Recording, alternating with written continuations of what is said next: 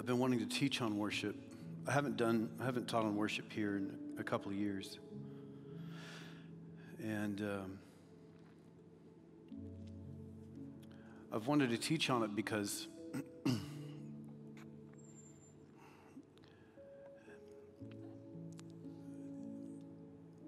it can mean so many different things in our culture. It can mean anything from a life devoted to God or a genre of music. So, depending on what context, the word worship can mean a whole lot or very little. And um, if we only see worship as merely, let's say, a genre of music, something that we enjoy because it makes us feel good to sing certain songs, and that is when the band sings the songs that we like. And as a worship leader, it's something I've heard often over the years like, well, worship was good today. You guys did all the songs I like. I'm so glad. I was completely aiming for you. Psych. Your generation doesn't say psych, though. Sal Jr. says psych, though. We're, we're from that generation, right? Um, yeah, you guys can sit down if you want. Just whatever you want to do. Just receive, just keep receiving. Um,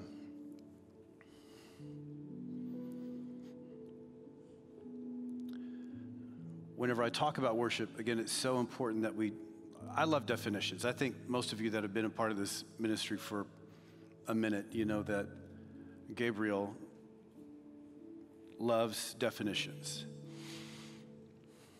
Because when you're talking about something like worship, um, as I've already stated, it, it can mean any number of things. Just like if, if we were to be up here talking about fathers, um, the term father, the title father, can come with it very contrasting definitions.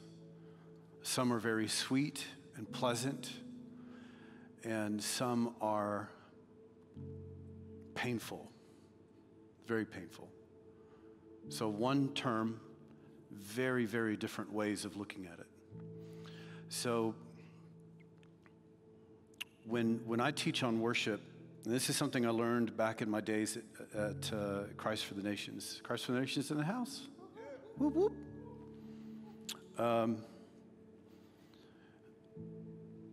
was that everybody was coming to me with their opinions about what worship was.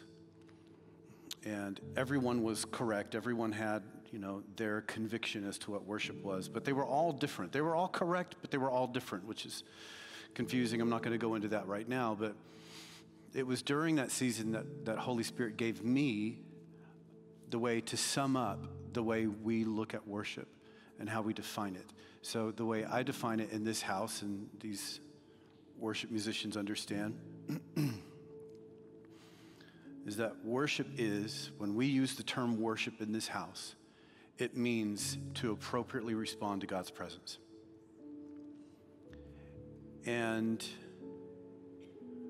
that's why I wanted to teach you on the seven Hebrew words for praise tonight because worship is not just one thing, it, it has many members to it, many functions, many tools that are associated with it, um, many responses, if you will. And bless you. And um, the more we learn to graft these responses into us, the more whole I believe we can become. Um, just like tonight, as we just, many of us just laid out in the presence, and in doing so, received healing, received peace. Did anybody testify to that? Anybody get, feel like, whoa, God really downloaded some stuff to me? That's because we're learning how to respond to Him appropriately. Um, in my younger years of getting into worship and stuff, I didn't know anything about seven Hebrew words of praise. I didn't know anything. I just, I knew that God was holy and He was good and He was kind. And there were so often in worship, even though I was an introvert, I felt this, this internal struggle between needing to be composed and wanting to be an absolute basket case for Jesus. Like I wanted to be I wanted to be passionate. I wanted to be one of those people that just didn't seem to care. Almost felt like like it was in me to do so, but I couldn't explain it. I didn't understand it. Well, then years later, I would come across this Old Testament example. And you might be wondering, like, well, why do we have to go all the way back to the Old Testament? Because we don't, we don't worship like, like they did. We don't sacrifice animals and, and do all that. Um, well, it's important because it's where it all came from. Okay, it all the foundations of our faith started there and continue throughout into today. And it doesn't. The word never contradicts itself.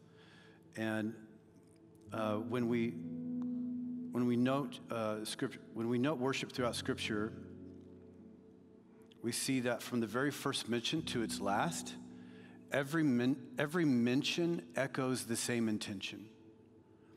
So, correct, we don't worship via slaughtering bulls and lambs and things like that.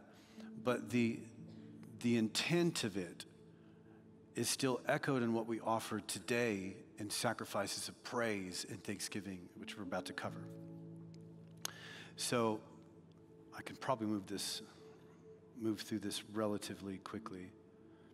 I've never taught when it was so quiet like this because it's about to get a little, a little, bit, a little bit loud. All right. The first word, if you want to take notes. Any note takers? Did you bring your Bibles? How about that? Let me see them. Good, good, good, good, good. Good. A Bible carrying Christian is a dangerous Christian. That is, if you crack it open, you got to pull the sword out of its sheath, otherwise, it doesn't do much good.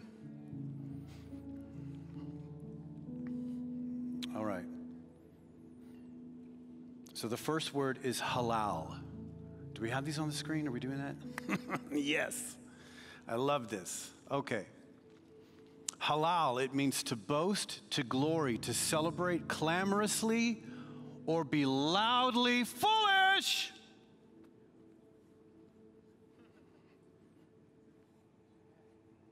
That's Bible. Do you know why this feels weird? Well, first of all, this, this word halal is where we get the word hallelujah to basically to halal Yah or Yahweh. So when we say the word hallelujah, it means to be foolishly, clamorously praiseworthy towards God Himself. Now, one of the reasons why we feel so weird in church when it comes to being ah, is because we've reprogrammed ourselves to sing that word completely stripped of anything that would be extroverted. So, pretty much any, any song that I can think of at the top of my head that has the word hallelujah in it is slow. Here's one that's been sung for generations. Alleluia. You know that one? Alleluia.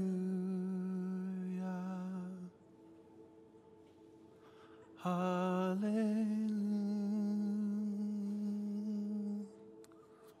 Mm-hmm.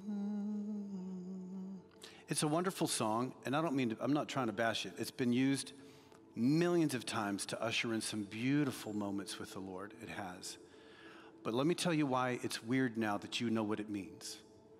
Because what you're really singing is celebrate clamorously or be loudly foolish. Does this look loudly foolish? Does this look clamorous? That patch, by the way, is stupid good. Fixing to go interstellar on us. Nerd worship. Um, where was I? Hello. Yes.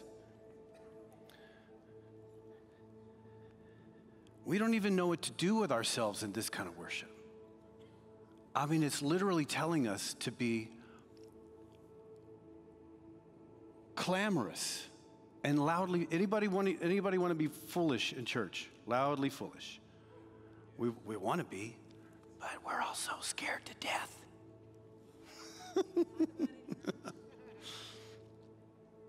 we'll go into more of that later. Yeah, we feel this, we feel this need to just be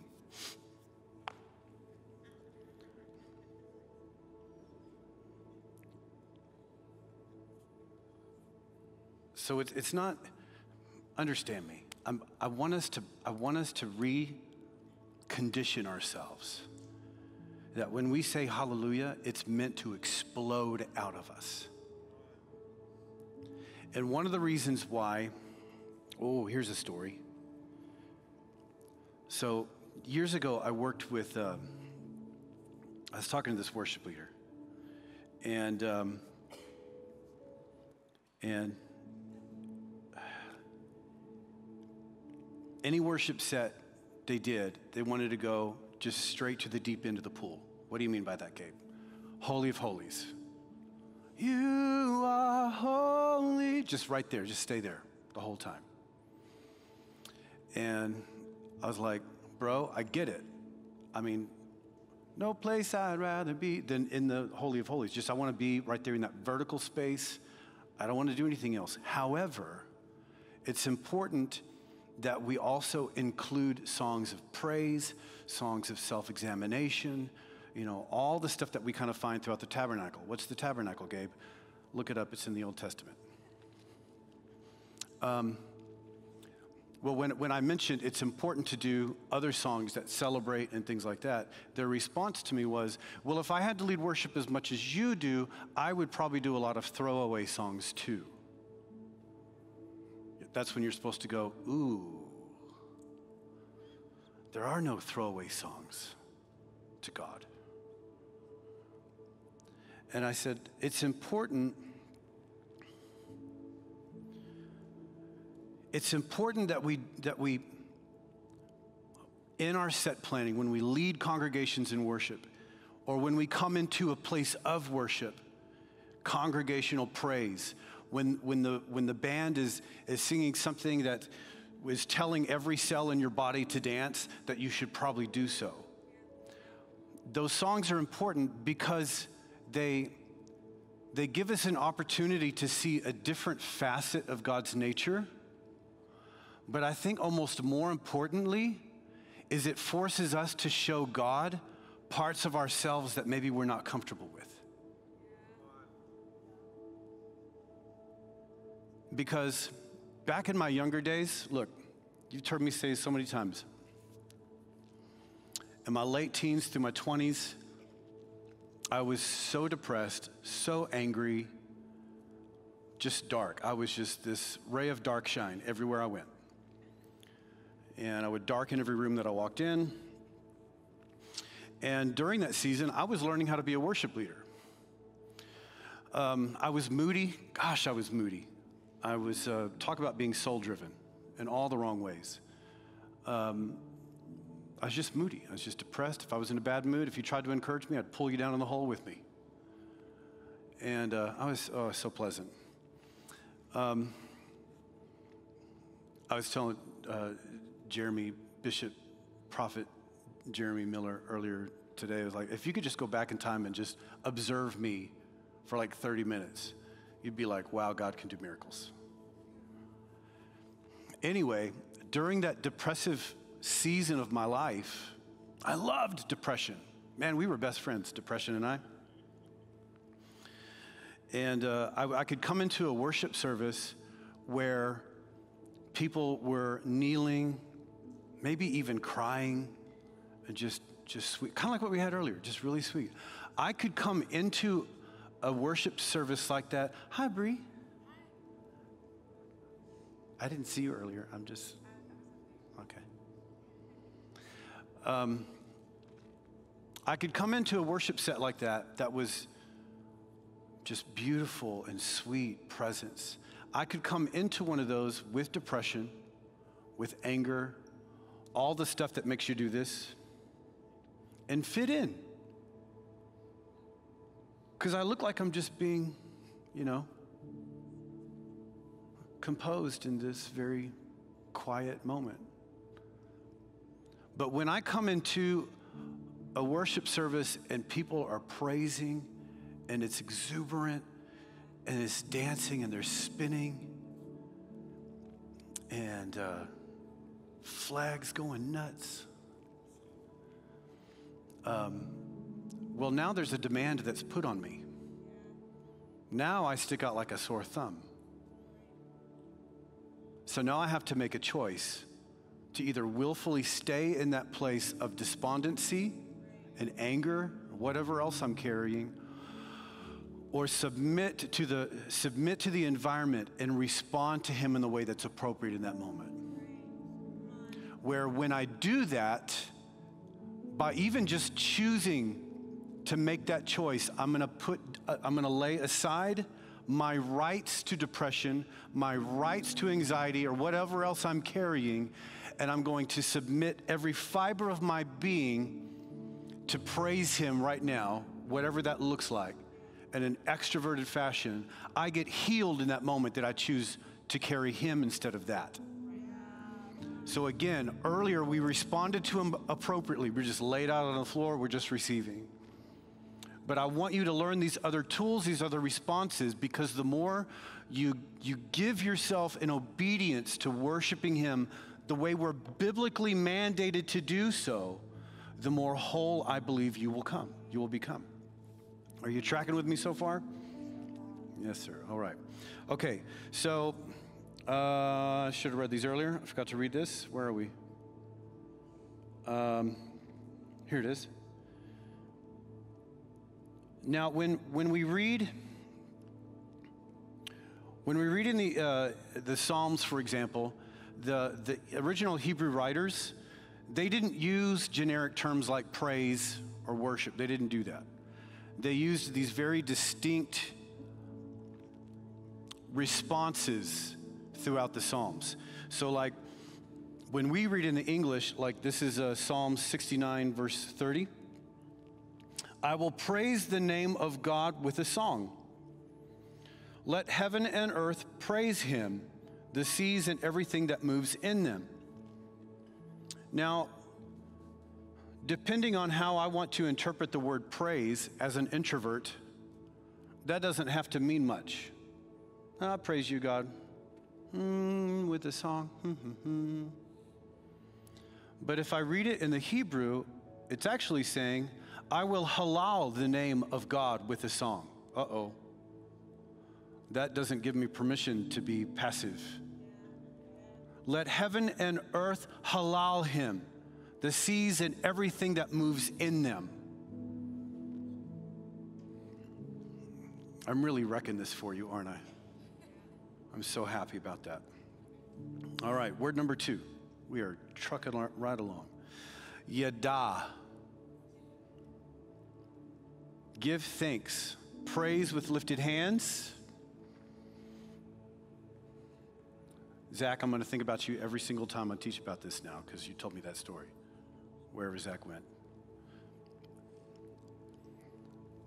So a yada is hands lifted. But some of us are into the half yada. It's like the New Testament version. We're more composed now. We've got it pretty figured out, so we can just.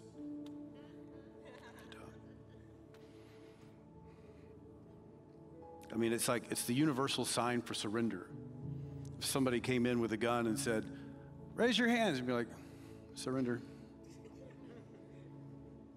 This is me surrendering. Psalm 35, 18. I will give thanks in the great assembly. I will praise you among many people. But in the Hebrew, it would have said, I will give you yada in the great assembly. It means in the great assembly now, I'm going to stand there with hands lifted. I'm going to give you thanksgiving with hands lifted. And I will halal you among many people. Number three, tauda. thanksgiving, a thank offering, sacrifice of praise, a choir of worshipers. We've got Tauda on these risers every Sunday, giving a thank offering. It's, it's, an, it's a type of praise that has, that's infused with gratitude. It's not merely just thank you, God. Let them sacrifice the sacrifices of thanksgiving and declare his works with rejoicing. Psalm 107 22. Or let them sacrifice the sacrifices of Tauda and declare his works with rejoicing. So let them bring gratitude infused praise offerings to me. If I have gratitude, why do I have gratitude? If I have gratitude for something, why is it that I have gratitude? It's because I'm aware of what I've received. It's so important that when we stand here and worship, we're not just letting words just come out, but we we place our thoughts, we bring everything into alignment. When I'm singing thanksgiving to, to God, I'm singing not just words, but I'm singing with an understanding. You gave your life for me. You set me free from depression. And it's from this testimony of gratitude that I give you this praise offering.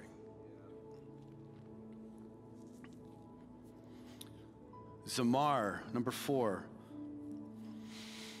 To sing or give praise while plucking the strings of an instrument. I get to Zamar all the time, which is why I have long fingernails on one hand and not the other. If you've ever looked at my fingers and thought, does he do crack? No, doesn't do crack. He plays acoustic guitar, finger style.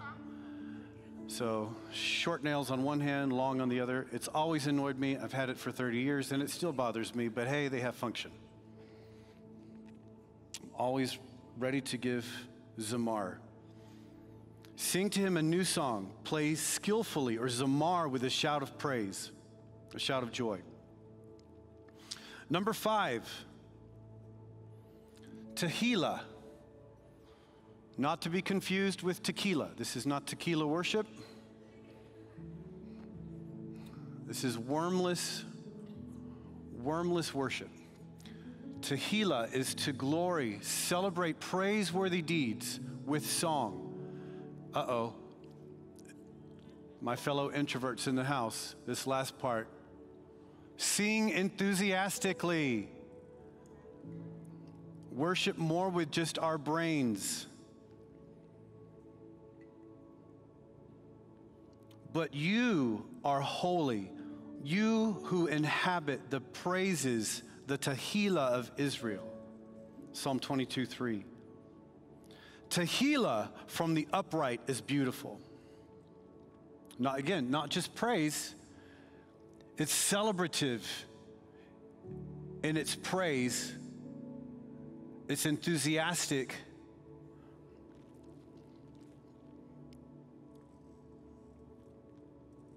Oh, in, uh, in Isaiah 61 3, where it talks about um, exchange a spirit of heaviness for for a spirit, uh, a garment of praise for a spirit of heaviness. That word praise there is Tehillah again. So he gives us a garment of celebrative, praiseworthy and enthusiastic worship. He gives us a garment of that as opposed to like what probably a number of us carried in tonight heaviness. By the way, you look gorgeous when you wear praise. Not so much heaviness, but you look really good. We should all change out our wardrobe just, just to praise. Number six, Barak. To bless, to praise, to kneel. Remember, a position of kneeling is a position of humility.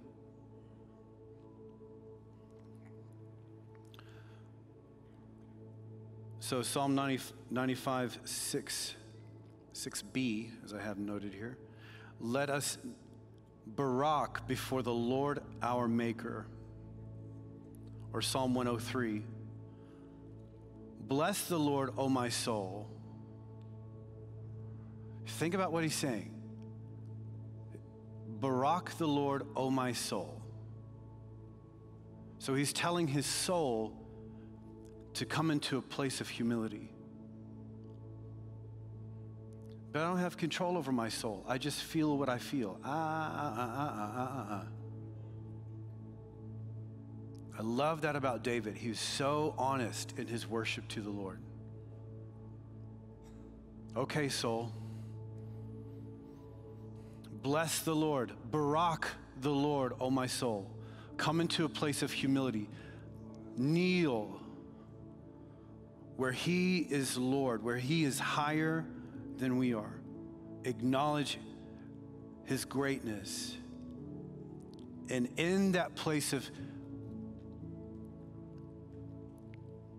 lowered posture before the Lord, find wholeness, my soul, my mind, my will, my emotions. Come into alignment with His Lordship through humility. Emotions, you are not my Lord. Raging thoughts, you are not my Lord. Barak the Lord, O my soul, come into alignment with his lordship. Come on, this is good, guys. Final. Finally. Number seven, Shebach. When I first learned this, I thought it was Shabak. I guess I pronounced it the white way. And um, this is at Christ for the Nations. And one of my bass players at the time, Benny, uh, he's from Israel. And he came up to me one day. He's like, Gabriel, it's not Shabak, it's Shebach, with phlegm at the end of it. Shebach. This is a fun one to praise, to shout, and proclaim with a loud voice, to boast in the Lord. Psalm 63 3 Because your loving kindness is better than life, my lips shall shebach you. Psalm 145 4 One generation shall shebach your works to another and shall declare your mighty acts.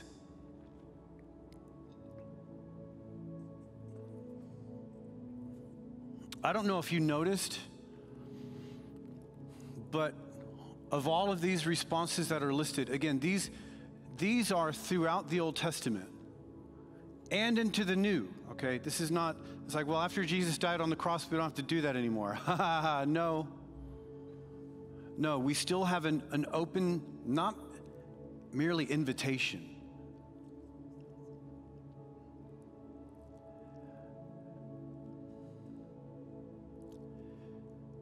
through these responses that, that Scripture gives us, not many of them are introverted, which is a real bummer. Speaking from experience. I mean, it, it, give me your best introverted Shebach. Go ahead. You're screaming in your mind right now. it doesn't work. You can't you can't, you can't allow your personality to dictate what kind of worshiper you're going to be. You allow the Holy Spirit to guide you and Scripture to draw the lines for you, to create a framework. And it's in this framework that we learn we actually have permission. Beyond a permission, we actually have what's the word I'm looking for? I keep not thinking of this word. Directive. That'll work. We have a biblical directive to be absolutely passionate lovers of God. But Gabriel, if I do that, it's not my personality. It's going to violate my personality to, to worship the way that scripture says I'm supposed to, and I need to be true to myself. No, you need to be true to who He is. He is Lord, not you. There's a whole lot in scripture that my flesh is not real crazy about. But who is Lord? If He's Lord, then it doesn't matter what my vote is. I don't get a vote. I get to do what he says I need to do. And in, and in pursuing what he's given me to do, like in this case, these seven words, these seven responses that I have to his presence, that I have to his nature, as I willingly graft them into who I am, I discover I'm a whole lot more than I talked myself into being. I'm a whole lot more than culture ever gave me permission to be or the church for that matter.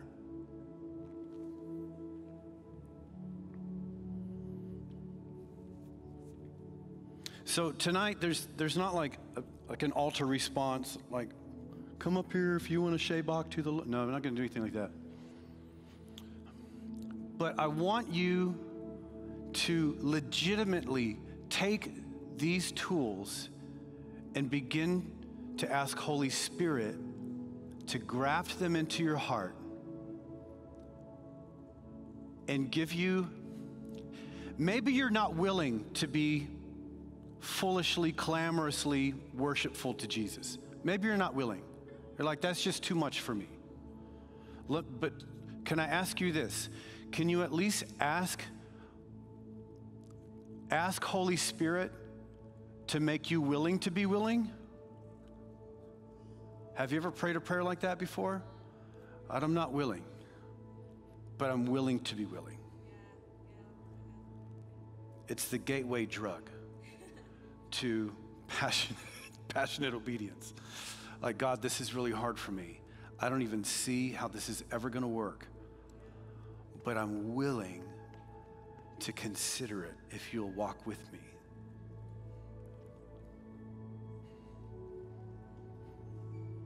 Okay, so I've not given you biblical permission to demonstrate ex- extravagant worship. What I hope you understand is that you have a biblical directive to be extravagant worshipers. This is not about doing something, this is about becoming something. It's in your nature.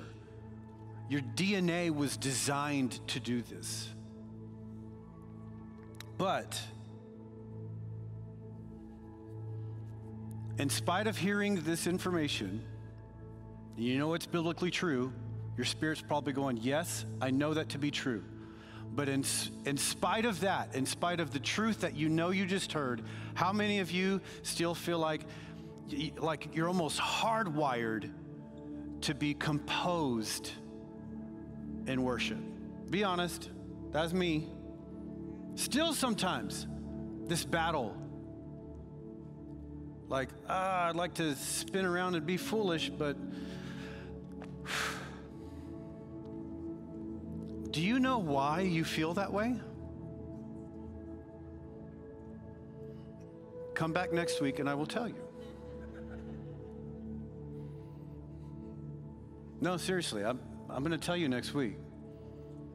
And it's going to blow your mind. It's one of my favorite teachings. Outside of teaching this, my second favorite thing to teach, because it helps us understand that we've been robbed. Because we have.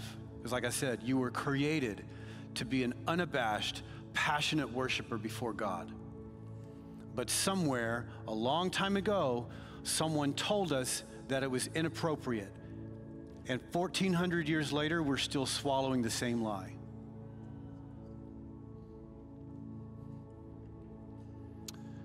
All right. Well, we haven't done announcements yet.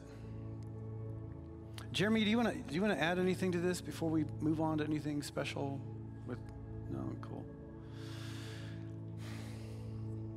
Well, let's let's stand and and pray, but don't leave yet because we're still gonna we still got to do announcements and we'll do some housekeeping stuff and, then we'll kick you all out of here. Um, also, let me make this clear to uh, uh, prayer team. Whenever we're done, please come up to the front. And if you came tonight, you need partnership with somebody to pray with you over family, over fi- anything, anything. You stubbed your toe on the curb walking in tonight, somebody will pray with you. Um, but they'll be up here, they'll be available for you whenever we're finished. But uh, go ahead, Jeremy, come on up here and give us, uh, give us some instructions.